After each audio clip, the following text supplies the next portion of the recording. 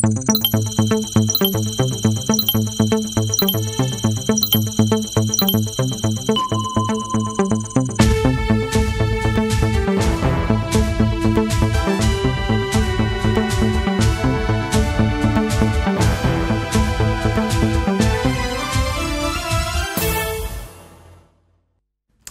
De le balai citoyen porte plainte contre le gouvernement pour non-assistance à personne en danger.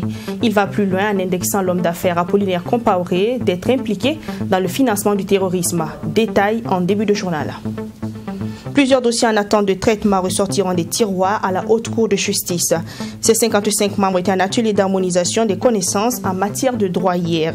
Une initiative première du genre qui permettra à chaque membre de s'approprier les défis de la période 2021-2025.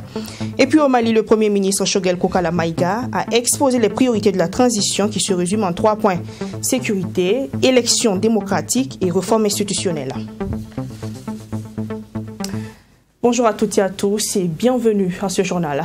Actualité sur l'attaque de Solhan, l'organisation de la société civile Le Ballet Citoyen a porté plainte contre le gouvernement dans la matinée d'hier 29 juin devant le tribunal de grande instance de Ouaga 1. Non-assistance à personne en danger dans le massacre de Solhan, c'est ce que le Ballet Citoyen reproche au gouvernement. Aussi a-t-il formulé une dénonciation de faits pouvant constituer des infractions pénales au sujet d'une implication supposée de l'homme d'affaires burkinabé Apollinaire Compaoré dans le financement de terroristes.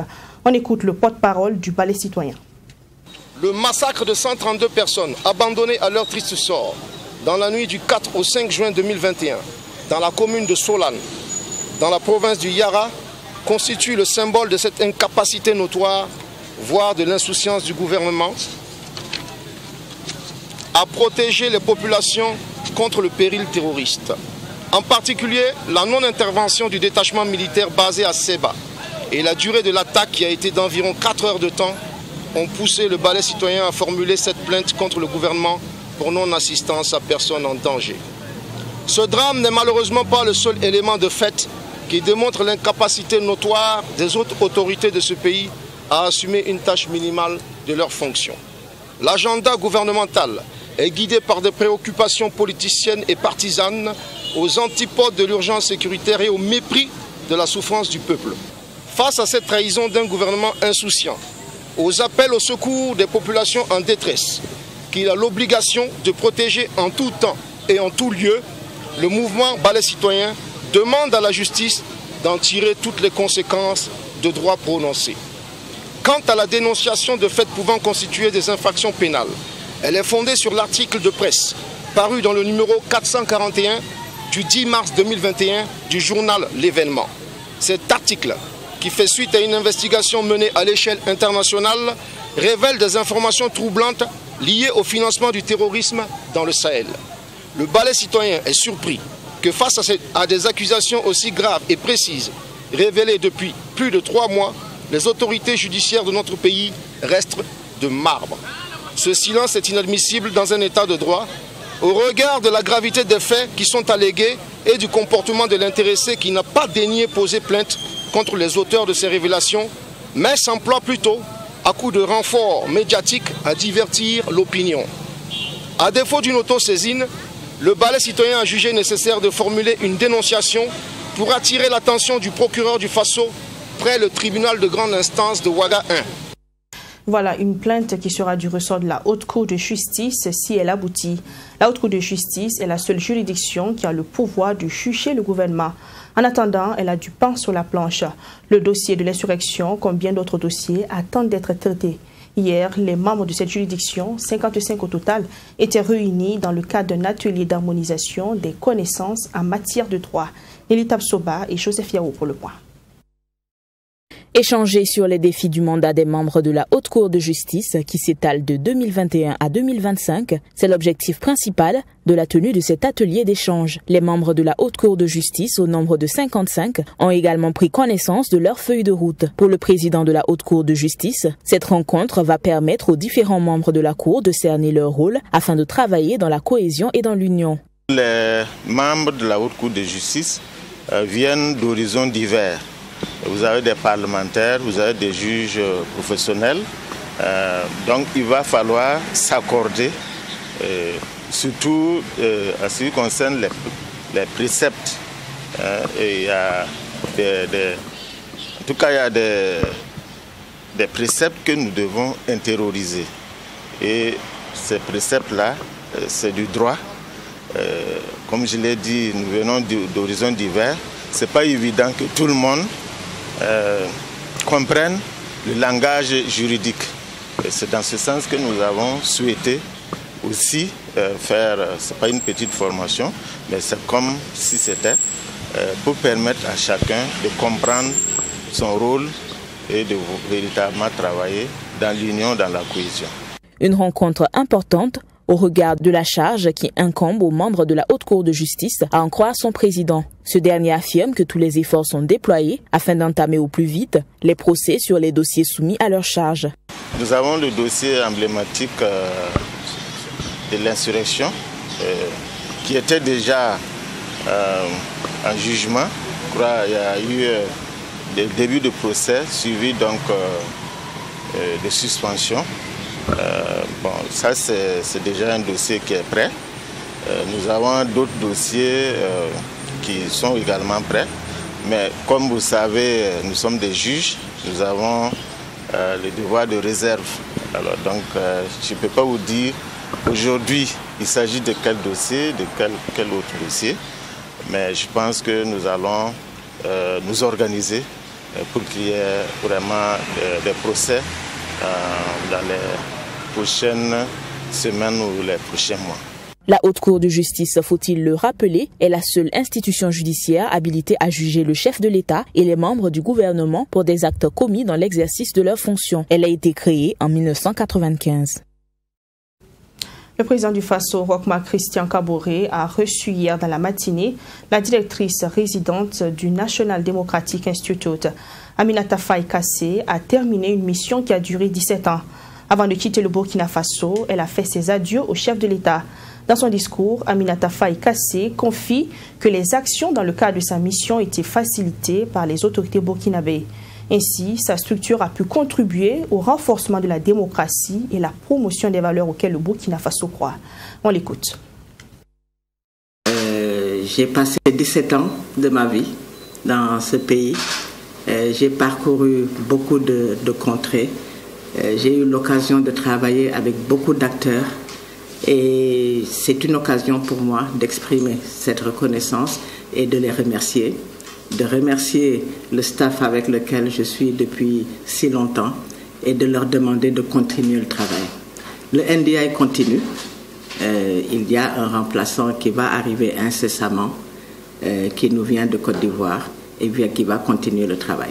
Donc c'est juste voilà, moi qui tire ma révérence ici en souhaitant à ce pays euh, tout le bien qu'on peut souhaiter à nos pays qui sont confrontés à des difficultés euh, liées à la sécurité, liées à la lutte contre la pauvreté.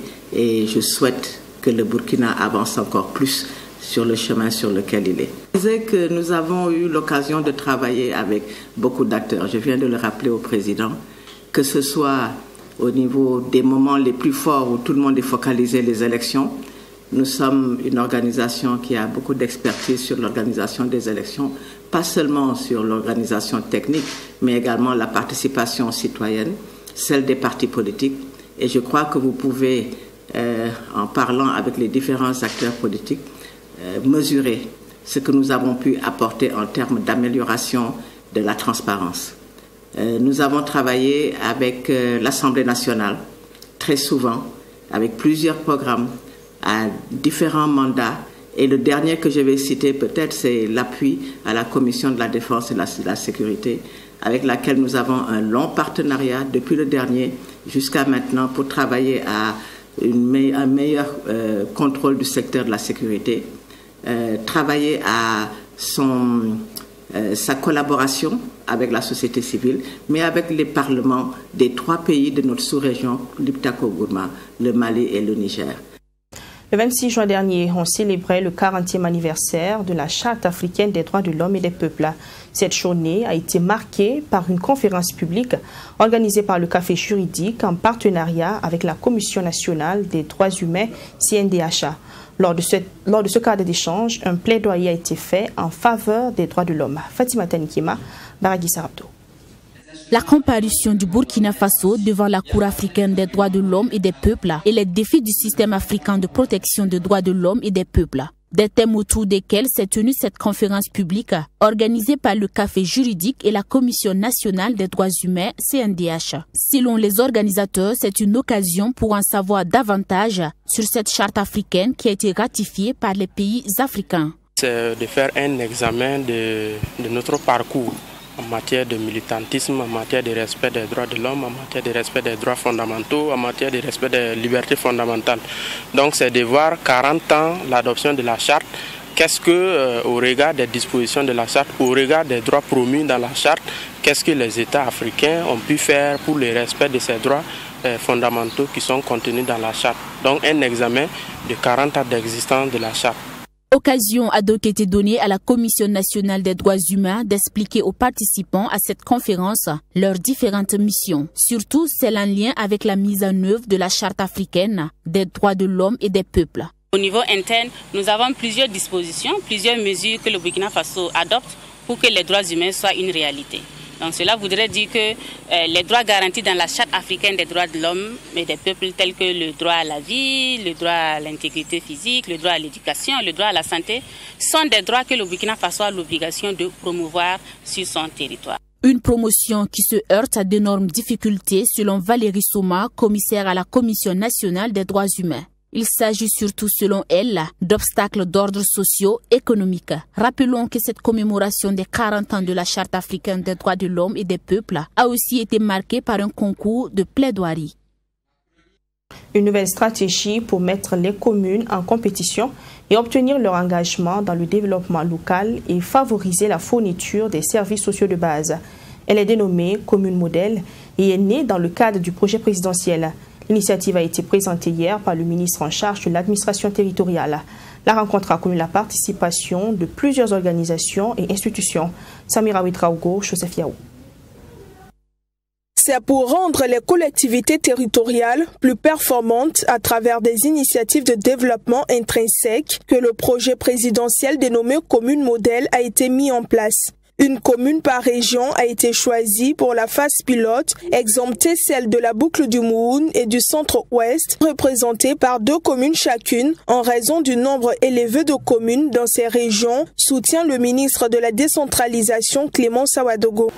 À terme et au bout du quinquennat, toutes les communes du Burkina Faso devraient pouvoir justifier de leur capacité réelle à faire progresser améliorer sensiblement la vie des citoyens burkinabés en matière de santé, en matière d'éducation, en matière de, euh, revenus, hein, création de revenus, euh, et dans toutes les autres matières, eau potable, assainissement, etc. etc. Et c'est ça la quintessence de l'initiative commune modèle. Ce que nous avons fait ce matin, c'est de rencontrer les différents partenaires qui travaillent avec nous tous les jours sur les questions de décentralisation et de fonctionnement des communes. Ce nouveau concept va stimuler une saine émulation entre les collectivités territoriales, à en croire le président de l'AMBF, l'Association des municipalités du Burkina Faso, Amon Pierre Bewende. Pour ce faire, il faut un engagement constant des maires puisqu'ils sont les principaux acteurs. Cette initiative présidentielle pour la commune modèle vient impulser une certaine, une certaine compétition entre les communes et un certain modèle de développement qui sera très hiérarchisé. Et, il y aura des critères de performance qui vont permettre à chacun de pouvoir s'auto-évaluer pour voir est-ce que je réponds vraiment aux attentes des populations. Puisque les populations, par le devoir de redévelopper que nous avons envers eux, vont avoir également leur mot à dire. Donc je pense que cette initiative présidentielle est la bienvenue et nous l'accueillons, nous allons nous y engager pour que le développement là-bas soit vraiment une réalité pour nos populations. De multiples propositions ont été faites au cours de cette rencontre d'information sur le projet commune modèle. Cela permettra de peaufiner et d'améliorer le contenu de la phase pilote qui démarre en juillet 2021 et prend fin en juin 2022. Deuxième session ordinaire du conseil municipal de Ziaré dans le plateau central jeudi dernier. Était à l'ordre du jour de cette rencontre l'examen et l'adoption des documents du compte administratif gestion 2020, le compte de gestion 2020 du conseil municipal de la commune et le budget supplémentaire 2021. Sanata Siré, Joseph Yao. Cette session ordinaire du conseil municipal de Zignaré était principalement consacrée à l'adoption du budget supplémentaire 2021. Ce budget supplémentaire qui s'élève à environ 300 millions de francs CFA selon le maire de la commune des Ignaré va permettre à la commune de financer les différentes activités inscrites dans son plan d'action essentiellement, c'est des alliés que nous allons faire, mais beaucoup, ça sera consacré à des activités que nous avons inscrites dans le cadre du Fonds monnier, notamment euh, la clôture du siège de la police municipale, euh, la clôture euh, du centre d'éveil et d'éducation préscolaire que nous allons que nous avons que nous allons clôturer, mais aussi l'accompagnement des services techniques de la mairie à travers même la dotation du matériel à la police municipale, parce que nous voulons ainsi siège exclusivement tout neuf pour euh, la police municipale. Était également à l'ordre du jour de cette session ordinaire l'examen et l'adoption du compte de gestion 2020 et des documents du compte administratif de l'année antérieure. Nous allons prendre des délibérations. Il y aura essentiellement deux types de délibérations. le premier type euh, va concerner tout ce qui concourt aux documents dont nous allons présenter, le compte de gestion, le compte administratif, le budget et le résultat. Donc ce seront des délibérations. Et le deuxième type de délibération sera consacré à des demandes d'exploitation d'une carrière et aussi à des demandes de cession d'actes amiables pour des projets, pour des sociétés immobilières. Cette rencontre a aussi servi de cadre pour faire le point des activités entrant dans le cadre de la commémoration du 11 décembre que doit abriter la ville des Ignari. Occasion d'informer les conseillers municipaux sur l'état d'avancement des travaux et de recueillir leurs avis et suggestions pour un 11 décembre réussi. Inauguration en fin de semaine dernière de l'abattoir moderne du Waiguya dans la région du Nord. C'est le Premier ministre qui a procédé à cette inauguration. La nouvelle infrastructure va améliorer les conditions d'abattage des animaux dans la localité, ce qui permettra du même coup de mettre à la disposition de la population de la viande saine. Nelly Tapsoba pour le point. Réalisé sur une superficie de 0,8 hectares, l'abattoir moderne de Waiguya est composé d'une chaîne d'abattage de bovins, de petits ruminants et d'un atelier de découpe. Il est muni d'équipements dotés de technologies de dernière génération et respectant les normes internationales en la matière. Une infrastructure qui vient contribuer à la valorisation de la filière bétail au Burkina Faso, à en croire le Premier ministre Christophe Dabiré. Le président du Faso veut valoriser les filières porteuses de notre économie nationale. Les filières bétail et viande font partie de cette valorisation et ces efforts qu'il est en train de faire pour construire l'économie nationale. Nous devons donc faire en sorte que progressivement, les chaînes de valeur dans les différentes filières soient améliorées. Nous avons inauguré l'abattoir de Kaya il y a un certain temps de cela. Nous inaugurons aujourd'hui l'abattoir de Waiguya. Nous aurions voulu inaugurer l'abattoir de Kuitenga, c'est en cours de réalisation. Et pour ce qui concerne les grandes villes telles que Bobo Dioulasso et, Ouagadougou, nous avons déjà mobilisé les financements pour réhabiliter ces abattoirs et en faire des abattoirs modernes qui vont permettre à notre pays de valoriser sa production animale et de faire en sorte que nous puissions occuper le marché régional de la viande avec de la viande de qualité parce que nous aurons des abattoirs qui travaillent selon les standards internationaux. La gestion de cet abattoir sera assurée par un opérateur privé. Et pour s'assurer de la bonne gestion et du respect du cahier des charges, un suivi régulier sera assuré par la mairie de la ville de Ouagadougou en collaboration avec la Direction générale des services vétérinaires, rassure le ministre des Ressources animales et halieutiques. La réalisation de cette infrastructure que nous inaugurons aujourd'hui a suivi une démarche visant le recrutement au préalable d'un opérateur privé qui sera chargé de la gestion. Cette démarche innovante a pour objectif d'assurer une meilleure gestion des infrastructures socio-économiques et d'accroître leur impact dans le développement local. Distingués invités, mesdames et messieurs, l'abattoir moderne de Wayuguya est bâti sur une superficie de 0,8 hectares. Il est conçu avec des équipements modulaires dotés de technologies de dernière génération respectant les normes internationales de sécurité sanitaire et environnementale.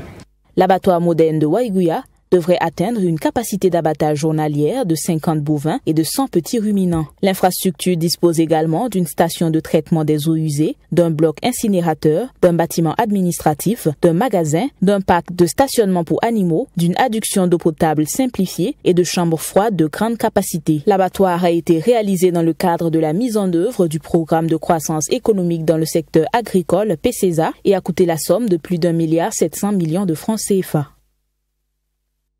Au Mali, le Premier ministre Shogel Kokalamaïga a présenté lundi les ambitions prioritaires de la transition. Trois communiqués aux hommes de médias. Les questions sécuritaires, électorales et les réformes institutionnelles ont été abordées. Par ailleurs, il a été question de l'octroi d'aide à la presse et l'abrogation des délits de presse. Compte rendu de la rencontre dans ce reportage signé Solo. En recevant le Premier ministre, le président de la Maison de la Presse, Bandjougou Dante, n'est pas allé avec le dos de la cuillère. Bandjougou Dante lui a présenté une longue liste de doléances. Tout a été dit par rapport à nos préoccupations. Tout a été écrit. Tout a été envoyé. Mais nous avons fait montre de pondération, montre de responsabilité et encore de sagesse pour qu'ensemble, on puisse trouver des solutions à nos problèmes. Parmi les problèmes que nous connaissons aujourd'hui, le premier qui est sur toutes les langues, c'est le non-paiement injustifié de l'aide à la presse depuis trois ans. Une rétention que rien ne saurait justifier. Nous pensons que vous qui avez pris l'habitude d'être expéditif, allez tout faire pour débloquer les aides des années 2019 2020 et 2021. Maintenant, parmi ces problèmes, nous avons la non prise en compte de la presse en ligne dans les documents. Nous parlons de la dépénalisation des délits de presse, mais aussi et surtout du poids lourd de la redevance les organes de l'audiovisuel. Parmi les doléances soumises, Dr Shokel Kokala Maiga a tenté de répondre notamment à l'emprisonnement d'un journaliste le vendredi dernier. Mais tant que les lois sont en place, il ne faut pas que les gens les violent. Maintenant, je pense que emprisonner les journalistes, il me semble, ma conviction, c'est que nous ne devons pas le faire. Si on le fait pendant la transition, ça va être une tâche sur l'habit de la transition. Aussi, le deuxième Premier ministre de la transition a profité de sa rencontre avec les journalistes pour parler des priorités de son gouvernement. Le premier pilier, c'est le pilier sécuritaire. Aussi longtemps qu'il n'y a pas d'amélioration sur le plan de la sécurité, les citoyens vont toujours continuer à douter de la capacité de la transition à réussir. Vous avez le volet, le pilier politique, les réformes politiques et institutionnelles qui relèvent du gouvernement. Ces réformes doivent se faire dans l'inclusivité. Les assises nationales de la refondation nous allons les organiser ainsi qu'il suit. Le Premier ministre donne l'assurance que la présidentielle se tiendra bien à la date prévue, soit le 22 février 2022. Il a aussi affirmé que l'organe unique de gestion sera mis en place pour une élection crédible, transparente et inclusive. François Trésor, merci de l'avoir suivi. Je vous attendrai demain à la même heure sur cette même chaîne pour notre tour de l'actualité. À demain. En attendant, prenez soin de vous et de vos proches.